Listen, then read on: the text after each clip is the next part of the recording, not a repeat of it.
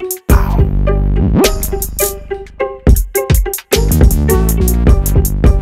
what's up everybody? Once again, it's Brand Man Sean, and this video is brought to you by BrandManNetwork.com because I signed myself, and today we have to talk about pay to play from a completely different perspective, and I want to start with this video right here. This is about opening up for shows when they come to Tallahassee, right? And they and they wonder why does a promoter charge what they charge to open up, right? And I'm gonna just say this part on me being a promoter, right? When an artist says, "Yo, Dimp, I'm charging you forty thousand to come to your city," right? A lot of times a nigga really don't even be thinking about opening acts. Let me tell you why. Because it's a lot of headache that comes a lot with along with that. You feel what I'm saying? Now, when we do say opening acts, if you want to be an opening act, you have to invest in the show. You have to be, eh, you can call it sponsor, whatever. But for you to be able to take, for one, you're not opening up for the artist. I just want to let y'all know that you're not going in there to perform because you think Lil Baby is gonna see you perform and he's gonna sign you. Y'all got that in your mind. Y'all got to get that out your mind. The part that you're doing, you're paying for, is to take the crowd that they're bringing to the club, and you're opening up for that crowd. Now, before we get into that particular video, I got a question. Does pay to play make sense to you? Does it make sense? Because I got to think about it this way, right? If you had a kid, right? Let, let's let's say that you're older and you got a kid, and your kid is blowing up on Instagram. They build this big old Instagram. You see them grinding every single day, and next thing you know, they got a million followers, and all sorts of people are reaching out to them to get on their platform. They're they're not rich or anything, but they have a lot of followers, and people want to get on their platform. Would you advise your kid not to take money to get on their platform? I think not. Why? Because it makes sense. They built their platform, they put in this work. Of course, it makes sense for them to be able to monetize their platform. There's nothing wrong with that part. And I think when people think about it that way, it's completely logical. It makes sense. Now, when we think about things like paid shows and things of that nature, we get a little bit emotional at times because artists start to feel like, look, man, I'm just trying to get put on. All I need is an opportunity. All I need is a crowd. And obviously, a lot of artists have issues with money. They don't necessarily have a lot of money.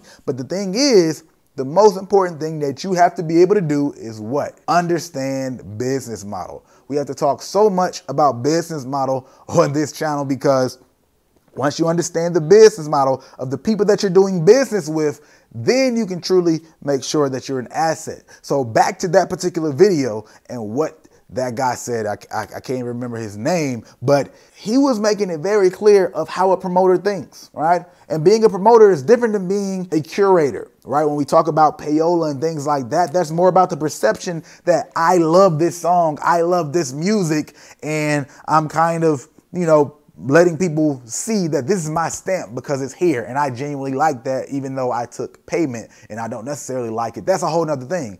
Promotions, a promoter had two primary jobs. Number one, get as many people there as possible. Number two, turn a profit. That's it.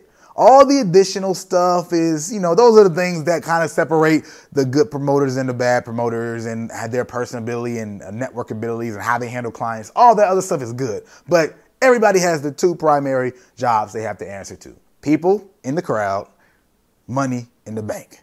That's it. If you don't contribute to either one of those, why would a promoter want you there? That's what they have to think about. That's what you have to think about because what a lot of artists get caught up in, again, is stuff regarding them and their personal ideas in complete lack of consideration of what that other person's job is, the business model that they have to answer to at the end of the day.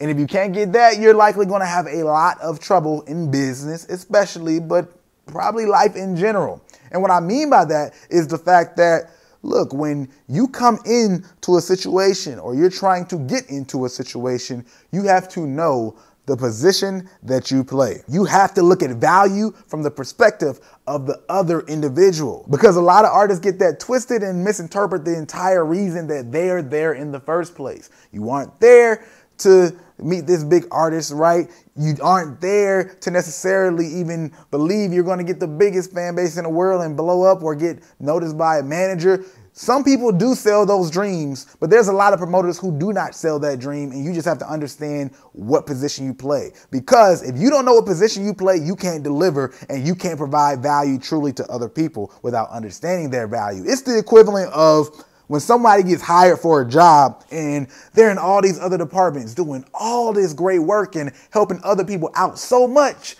but they aren't doing the job that they got hired for. That's the most important thing. Know your position, handle that first, and then we can handle this extra sauce. A lot of people are getting to the sauce and they don't have any meat to put the sauce on. So, from an artist perspective, yes, look, you're here to help this promoter make the money right? Uh, if, that's, the model where you're helping sell tickets, right? They're gonna want more of you. If you are often selling tickets, then they're gonna want you to be on more and more. That's why they're paying this bigger artist to be on the bill because that bigger artist is bringing in tickets. That's that's why they got him. If that bigger artist wasn't bringing in tickets, then of course that artist would have to try to pay them too because they need to make money at the end of the day. That's the only reason that they're bringing them in. There's big artists that have huge fan bases but don't apply to the fan base that that promoter has ability to reach or don't even have a fan base in the region that that promoter is in. So they're not going to bring that big artist out right? It's all relative. Or if the artist's charge is so much that they can't reach a fan base that enough to actually and, and, pay ticket sales enough that are actually going to exceed the price, then it still won't make sense for the promoter. We have to understand what other people are dealing with, what their business and what their life looks like, so that way we can provide the value from that perspective. So, for my artist, analyze a situation from you. Yes, you can look at what they have going on. That's what you always need to do. More and more people need to understand the other side and the other business model because there's always implications of that business model when you understand what that is. But then now let's analyze what things look like for you. All right. We're talking about paying to get on the show. Yes, that might suck that you have to pay money. And I'm not saying, yo, everybody needs to pay on a show. I'm saying paying for a show should be looked at subjectively. What is the crowd that you're going to be in front of? Does the artist match up to the type of crowd that you need to be in front of? If so, maybe that's valuable. Do you even perform well enough to make fans off of your performance? Because that is meaningful. People don't consider that. They aren't self aware. Oh, I got this type of music. They got those kind of fans that like this type of music. I'm going to get in front of them. But if your performance isn't up to par, then. Mm, what does it matter? You're probably going to get in front of them and not do yourself justice. And then another thing is consider what is another rep? Another rep is valuable to somebody who doesn't have reps. And when I say rep, I mean repetition, like working out. How many times do you flex this muscle, work out this muscle so you can build that muscle?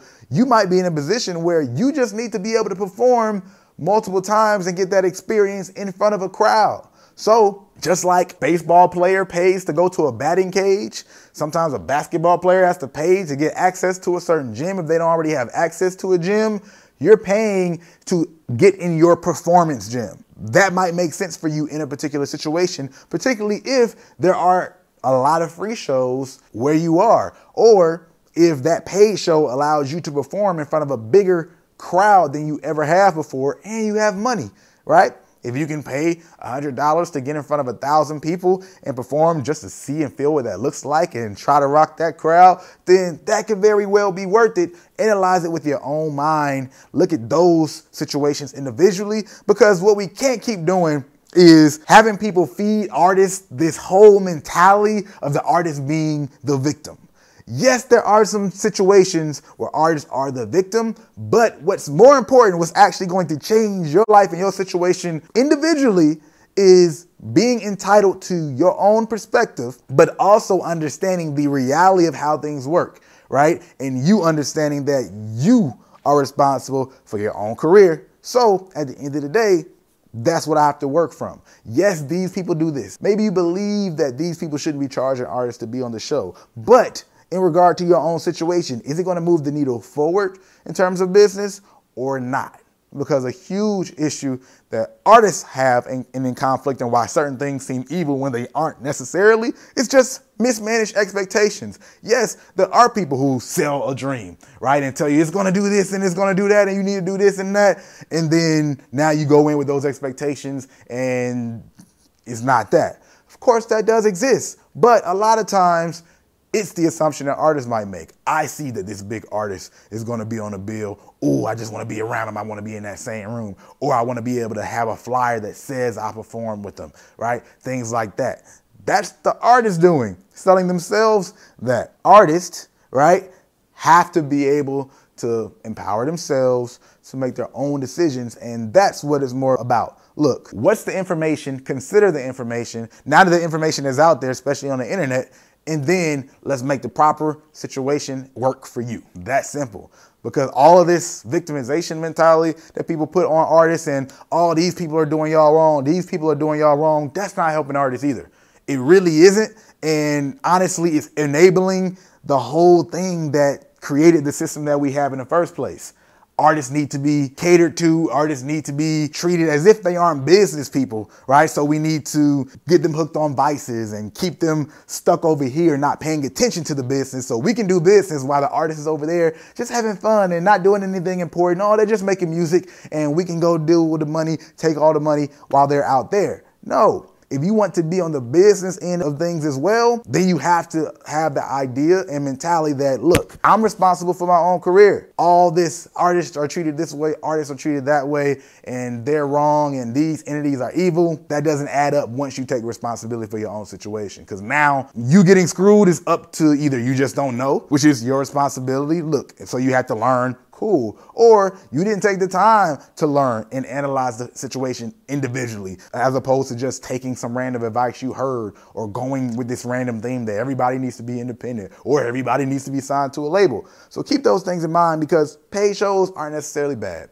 They aren't. And even with that being said, paid shows make sense for the business model of the promoter. It's up to you to opt in or opt out, but it doesn't make their situation bad and it is important for you to understand and be able to analyze not only their business model, but every business model of the people you're dealing with within the industry, because that's going to only empower you to make better decisions and navigate far greater. Even when we talk about the politics of things, right? You'll be able to navigate far greater when you take the time to understand what they work off of. Not from a perspective of, oh, they just don't care about the artist. No, why is their business set up this way? What are the powers that be behind them, or what do they have to answer to business model wise? What do they have to go through stress wise? And then you're able to figure out how you can provide value to them, sometimes not even for money at all, because you understand how their system works, how their system works, how their system works, and how this whole game is thinking as a whole. I would love to know what you guys think. Put it in the comment section below. Have you approached things? Have you had the wrong mentality going about things? You know, be transparent, or do you just know people who do have that mentality? I would love to know what promoters think, especially. Let, let, let me hear that. But as always, this video is brought to you by BrandmanNetwork.com. We help artists build their brands, develop their brand, build some infrastructure so they can get their fan base going, get real progress. If you're interested in checking that out, BrandmanNetwork.com, link in the description below. But as always, if you like this video, Go ahead the like button. If you like it, you might as well share it. And if you're not, subscribe. You know what to do. Hit that subscribe button.